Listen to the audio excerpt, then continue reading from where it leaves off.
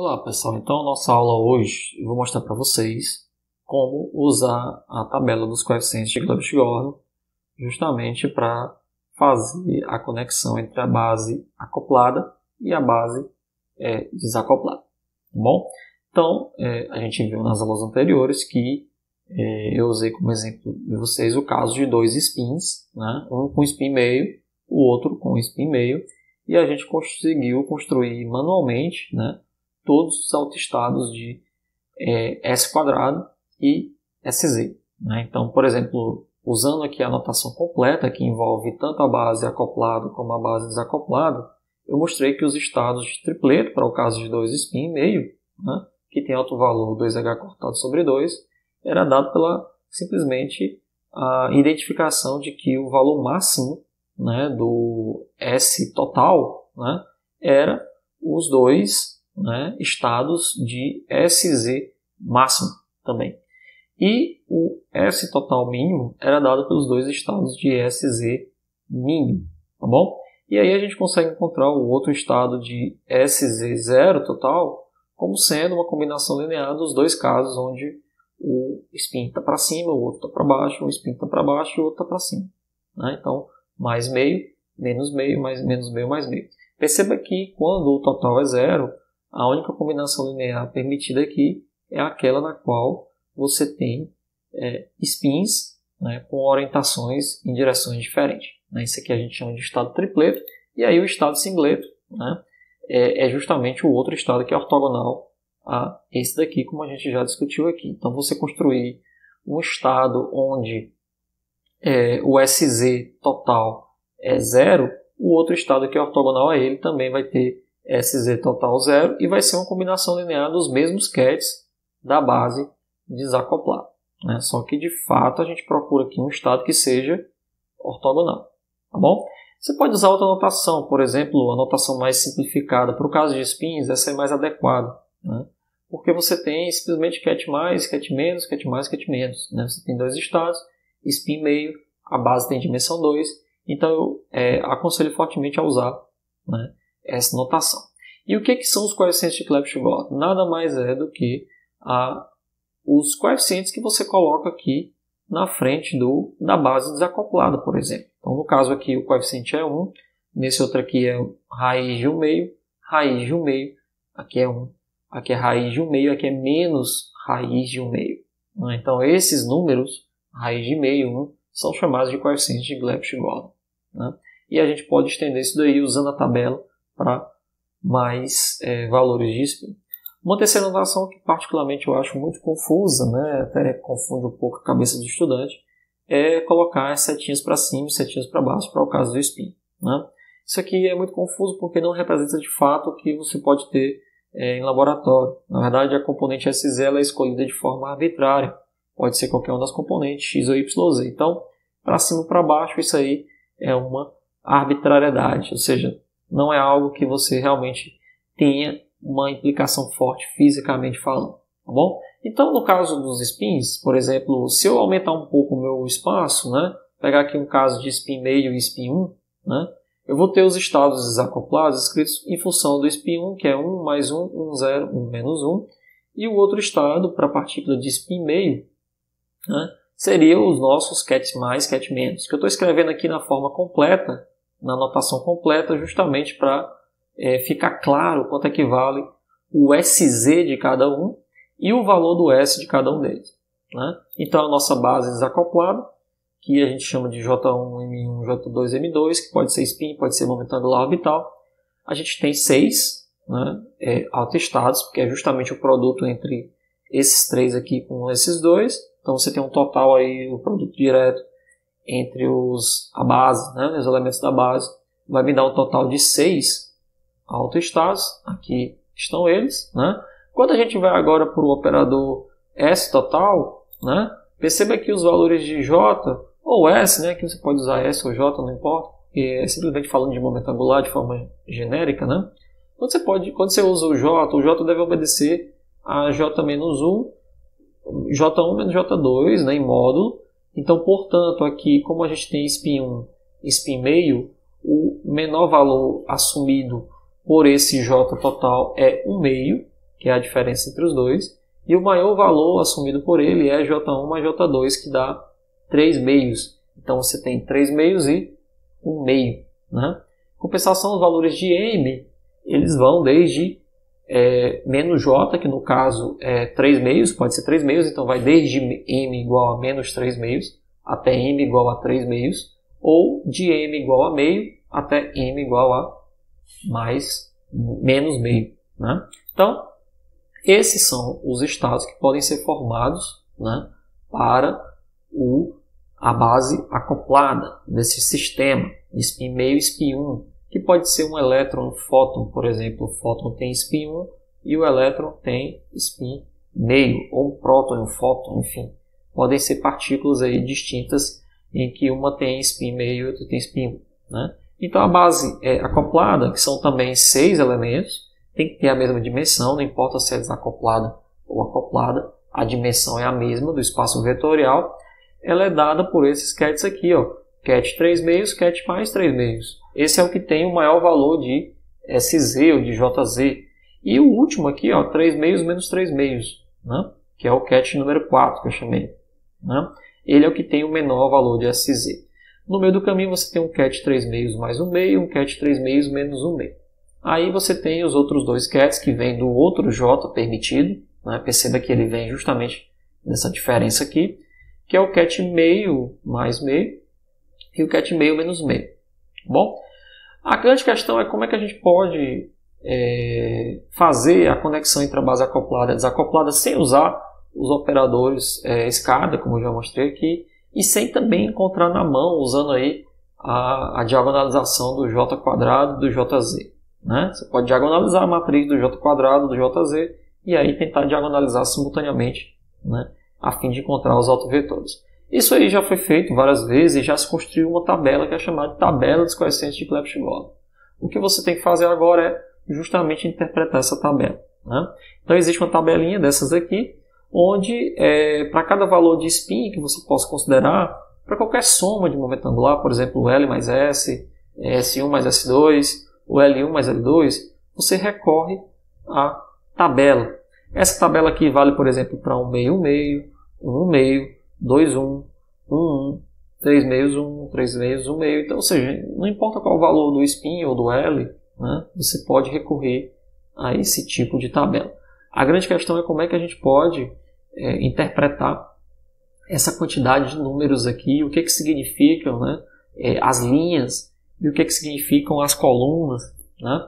E por que, que a tabela é escrita dessa forma?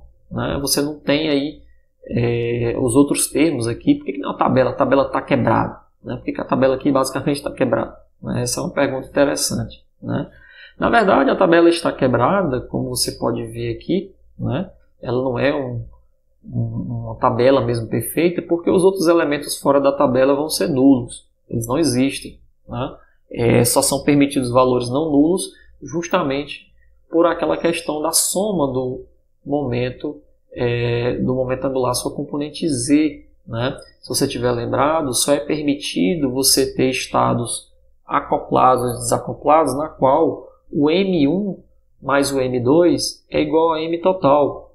Então, por exemplo, se o M total for 5, você não pode ter é, um, um cat desacoplado na qual o M1 é 1 e o M2 é 2, porque a soma ali está dando 3. Né? Então, o elemento lá, o coeficiente daquela base tem que ser zero.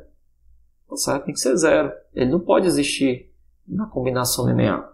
É por isso que essa base aqui ela não é quadrada, porque os elementos fora da diagonal, os que estão em outros tipos de, é, de soma de momento de, de m, eles não são permitidos. Então, é, a pergunta no caso é como é que a gente pode encontrar o coeficiente Clebsch-Gordan relacionado a esse produto. Né? Esse produto, eu já mostrei para vocês aqui, é o que conecta a base né, é, acoplada, a base desacoplada. Se você inverter aqui, você está conectando a desacoplada na acoplada e vice-versa. Vai funcionar para os dois. Né? Esse coeficiente aqui pode ser usado para encontrar né, uma base em relação à outra e vice-versa. Tá bom? Então, é, como é que a gente pode encontrar isso daí? Perceba o seguinte, vamos lá. Procedimento para leitura da tabela. Então, digamos que você pegue aqui o caso de spin 1 e spin 2, spin 1 meio. né, no caso, né, semelhante ao que eu já mostrei aqui. O primeiro passo que você tem que fazer é usar a tabela de J1 e J2, ou seja, SPI1, SPI meio, ou L1 e, e, e S meio, né, você recorre a essa tabela aqui. A tabela é essa daqui, é a mesma tabela que eu tirei daqui, ó, um meio, eu trouxe ela para cá, tá bom? Primeira coisa é usar a tabela de J1 e J2, ou seja, o produto que eu quero buscar, eu preciso olhar para esses dois termos aqui, um, um meio. Né?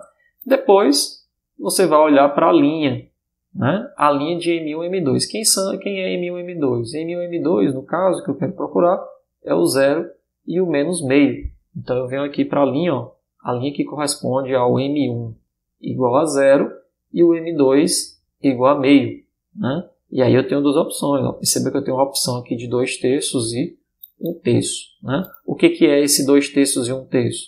Esse dois terços é um coeficiente, que a gente vai já ver como é que usa, e esse um terço é outro coeficiente da base, né? desacoplada, que a gente vai usar aqui. Né? Mas qual dos dois é o correto? Quem que vai determinar? A coluna. A coluna determina o J grande e o M grande, que é do J total e do M total. Então, se for o caso de pegar 3 meios, né, e o M total menos 1 meio, você olha para a coluna do 3 meios e menos 1 meio. Então, a interseção da linha com essa coluna aqui me diz que o resultado é 2 terços. Né? Esse 2 terços é o coeficiente ainda? Não. Na verdade, todos esses coeficientes aqui, você precisa, na verdade, considerar a raiz quadrada do coeficiente. Né? E um detalhe, se o coeficiente for negativo, por exemplo, menos um terço, né, não vai ser a raiz quadrada de menos um terço, porque ela não existe, vai ser, vai ser um número complexo. Não é o caso. Todos os coeficientes de Clebsch-Gold são reais. Né? A transformação que leva a base acoplada na base desacoplada é uma transformação unitária que ela é, obviamente, ortogonal, porque os seus elementos são reais. Tá bom? Então, a transformação é ortogonal, os elementos são é, reais, os coeficientes são reais tá bom? É, então aqui todos os termos são reais. Então, na verdade, o que você tem que fazer quando você encontrar um número negativo nessa interseção é colocar o sinal de menos na frente do coeficiente fora da raiz. Tá bom, então, se você encontrar, por exemplo, mais ou menos x aqui dentro da tabela, você tem que fazer mais ou menos raiz de x. Tá certo? É assim que funciona a leitura da tabela. Então, resumindo, o primeiro passo é usar a tabela de J1 e J2, que são esses termos aqui. Depois você usa a linha de M1 e M2, que no caso aqui é 0,1 Depois você usa a coluna de J e M grande, no caso é 3 meios e menos 1 meio. E aí você pega o mais ou menos a raiz quadrada do valor que você encontrou. Como eu encontrei aqui 2 terços, significa dizer que esse produto é, interno dessa base é, acoplada com a base desacoplada, ou seja, a projeção da base acoplada na base desacoplada aqui, no caso, é raiz de 2 terços. Né? Você pode usar a tabela dos coeficientes de Clebsch-Gordon para fazer leituras individuais, como é que eu estou fazendo aqui, ou fazer leitura simultânea da base. Né? É bem útil. Ó. Vamos pegar aqui, vamos pegar o caso do spin meio spin meio, como a gente já conhece. Né? Spin meio spin meio, a tabela que você vai recorrer é o meio meio. Né? Como é que eu leio essas informações aqui? Vamos começar. A gente lê ó, de cima para baixo e da direita para a esquerda. Né? Se você quiser fazer a base acoplada em função da base desacoplada. Então, ó, vamos lá. Cat 1 mais 1. Primeira linha aqui, ó. Cat 1 mais 1 você tem 1, que é esse coeficiente aqui. Cat meio, mais meio com mais meio. Né? Aí depois você vem para o cat 1, 0. Ó. Vamos ler de cima para baixo. Ó. 1, 0 é raiz de 1 meio. Cat desacoplado mais meio. Cat menos 1 meio. Tá aqui, ó, mais meio, menos um meio. Né? E mais raiz de um meio também, cat menos um meio, cat mais um meio. Então, essa é outra forma de você construir o, os elementos da base acoplada de forma direta, de forma simultânea.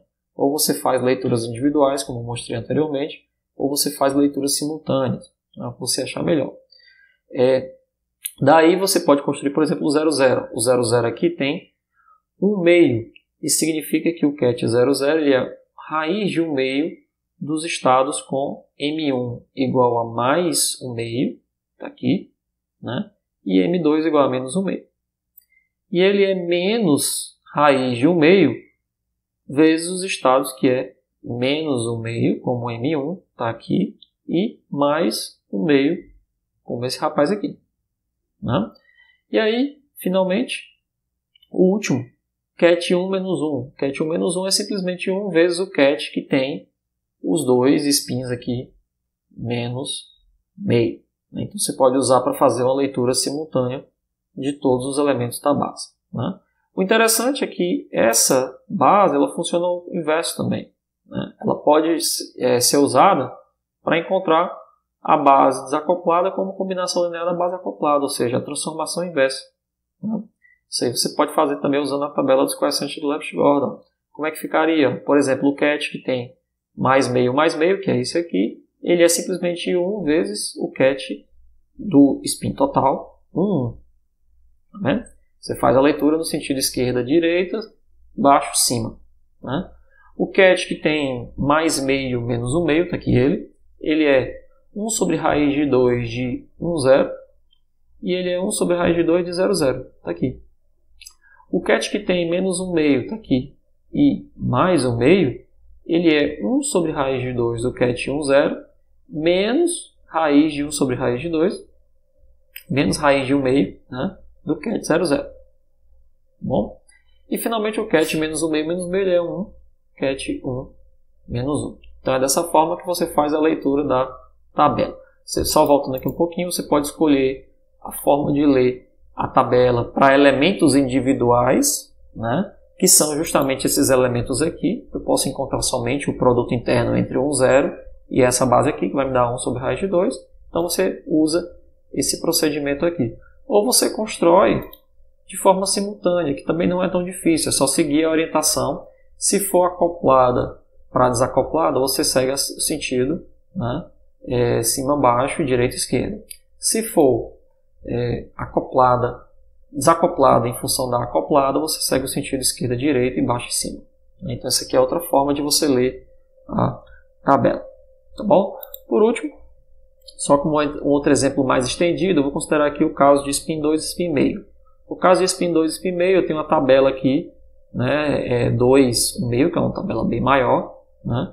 Os estados para partícula de spin 2 são 5, né, de 2 mais 2 até 2 menos 2. E os estados de partícula meio você já conhece. Né? Digamos que eu quero escrever a base agora com respeito ao CAT 5,2, 5, 5 meios. Né? Perceba que J1 mais J2 aqui dá 5 meios. Tá certo? Mas tem também o 3 meios nesse sistema. Perceba que 2 menos 1 meio né, me dá o que? Me dá 3 meios. Então o valor menor possível para o J é 3 meios. Por isso que não tem aqui na base é, acoplada, você não tem é, J igual a meio, por exemplo. Então esse valor aqui nunca vai ser meio, porque é J menos J2, então menos J2, em módulo. Então é 3 meios, tá certo? E o máximo é 5 meios.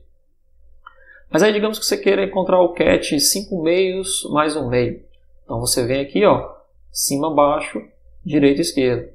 5 meios, cat mais meio, vai ser 2 quintos, só que no caso é raiz de 2 quintos, cat, onde o M1 é mais 1, que é 2 mais 1, cat, onde o M2 é menos 1 meio, que é 1 menos 1 meio. Né? Perceba que eu peguei o produto direto, né? onde ah, os elementos aqui do Z dão 1 meio. Sempre esse rapaz aqui vai ser a soma desse com esse. Tá bom? Sempre. Tá bom? O outro elemento aqui é 3 quintos. Então você tem raiz de 3 quintos, cat 0. Só que quem é? 2 0, que é esse aqui. Né? E o outro cat é mais meio, então mais meio. Então essa aqui seria a forma de colocar, né, de você ler a tabela dos coeficientes de Left-Gordon para construir aí os estados acoplados em função dos estados desacoplados. Qual é o objetivo? O objetivo é que esses estados acoplados eles são autoestados do operador é, S total quadrado e do SZ ao mesmo tempo. Diferentemente, como a gente já viu aqui, do, da base desacoplada, que não comuta, não é autoestado né, do S total quadrado ou do J quadrado total. A base desacoplada não é. Né? Ela, ela é autoestado do JZ, mas como J ao quadrado não comuta com JZ, essa base acoplada ela não é, diagonaliza simultaneamente o J quadrado. Então a gente precisa da base acoplada, que essa sim, é, ela, ela diagonaliza simultaneamente né, o J quadrado, JZ total, e o J quadrado 1 e o J quadrado 2, né, como a gente já viu aqui. Tá bom? Então, é isso aí pessoal, até a próxima aula.